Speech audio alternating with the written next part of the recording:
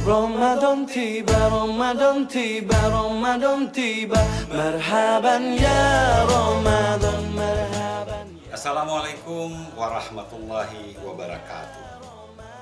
Ramadan adalah bulan suci. Bulan yang selalu kita dambakan kehadirannya. Marhaban ya Ramadan.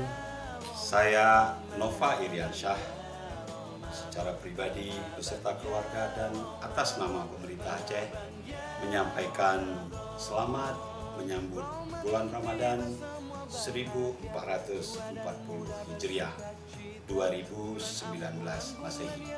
Semoga dengan Ramadan ini kita dapat meningkatkan amal kita, kita dapat meningkatkan ukhuwah kita, memperhatikan rakyat, bersedekah, dan meningkatkan kinerja kita dalam tugas-tugas pembangunan.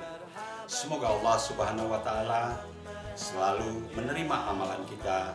Semoga Allah Subhanahu wa taala selalu melindungi kita, membawa Aceh ke kesejahteraannya, membawa Aceh ke negeri baldatun thaibatun warabun gafur. Terima kasih. Assalamualaikum warahmatullahi wabarakatuh.